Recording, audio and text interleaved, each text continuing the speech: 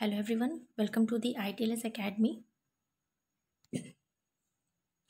Uh, today's lecture is on the topic food product analysis that is based on the practical training on the topic cereal and various cereals product. Let's start with the lecture first. Uh, as we know there is a uh, food safety standard for maintaining the standards of the food. These standards for cereal, pulses and their products are laid down in section 2.4 of the food safety and standard uh, and regulation in 2011. These includes standards for food grain, their milk products and processed cereal products. And in addition to standards for malted foods and solvent extracted edible oil seeds flours are also included under this item. Uh, here there is a need for dif- uh, differentiating the refraction. Uh, let me define the refraction first.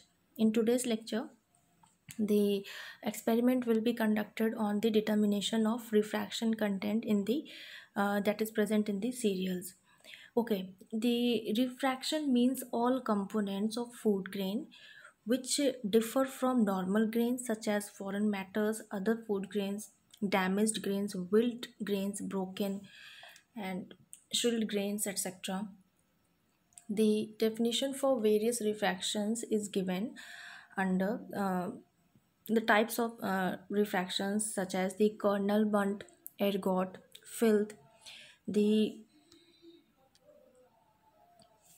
kernel bunt is the grains of wheat having a dull appearance and blackish in color.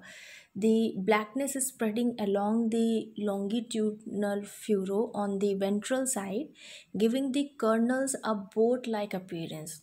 This grain is affected by a field fungus. The it is a type of refraction which makes the cereal differ from the normal cereals.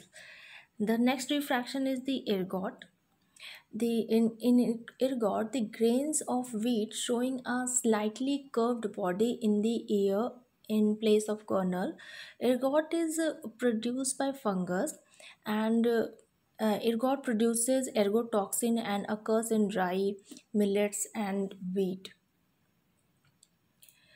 The next reference uh, refraction is the filth uh, filth we can say any uh, objectionable matter contributed by animal contamination of the products such as rodent insects or bird matter or any other objectionable matter contributed by insanitary conditions. And it can be uh, somewhat uh, heavy filth or light filth. We can say heavy filth or heavier filth material separated from product by uh, sedimentation based on different densities of filth food particles and immersion liquids such as CHCl3 etc example of such filths are in insect and rodent excreta pellet and pellet fragments sand and soil uh, the next type of filth is the light filth. The lighter filth particles that are uh, oleophilic and are separated from product by floating them in an oil. Aqueous liquid mixture uh, the main examples for this is the insect fragments whole insect rodent hairs feather barbules. These are some types of filth which comes under the refraction I think now you have got the idea. Uh, I'm talking for which topic. Uh, what is a refraction? Refraction, in simple words, we can say that it is a type of impurities that is present in normal cereals. Um, we have also seen in our home that uh, sometimes we used to clean our rice uh, by manually, and in norm in normal uh, industries, these are carried out through different processes and through different instruments used for this uh, used for uh, collecting the refractions from the and cleaning up the re, uh, refractions from the normal cereals okay what are the equipments that are needed for this experiment in order to uh, in order to collect the refractions and make them separate from the um, normal cereals we need a balance that is sensitive to 1 mg a sieves of uh, round holes having following apertures. We need a different sieving uh, tray that should be of uh, topmost should consist of 4.0 mm. Second from the top should consist of 3.35 mm. Third from the top consist of 1.70 uh, mm. And fourth from the top consist of 10 mm of uh, hole size. A solid pan at the bottom a enameled tray small scoop forceps and magnifying glass. Okay what are the procedure? Examines the uh, examine the test sample for its general conditions such as its appearance freedom from molds insect infestations off odor or uh, poisonous or deleterious material. Sometimes we used to reject the materials if we by our naked eye show uh, can be able to see in some any unwanted condition or the cereals may be not up to the grade. So we can at that time reject it. If it is not then it is carried out for the further uh, further experimental procedure. Okay how can we determine the uh, foreign matter?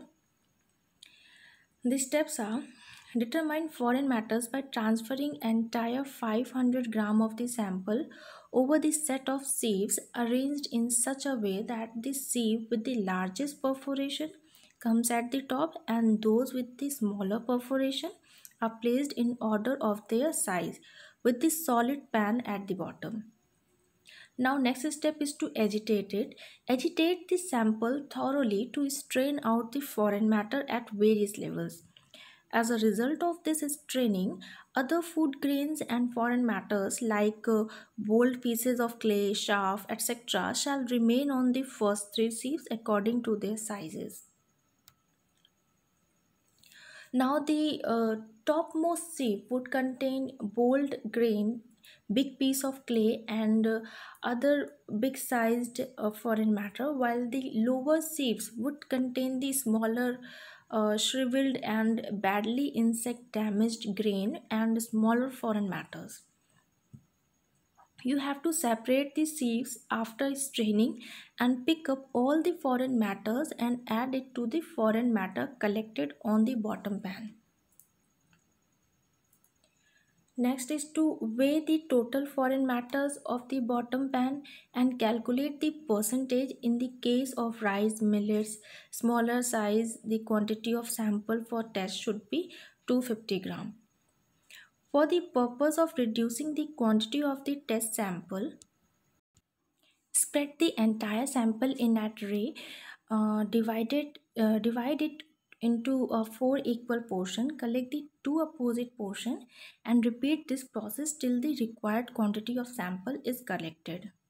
Once you collect the sample, then you can determine the uh, mineral matters that is present in that uh, foreign matters uh, you have to separate the foreign matters into mineral and organic foreign matters by putting the entire foreign matter collected into a beaker containing carbon tetrachloride the inorganic uh, extraneous matter or mineral matter we can say will settle down which can be separated from organic foreign matter.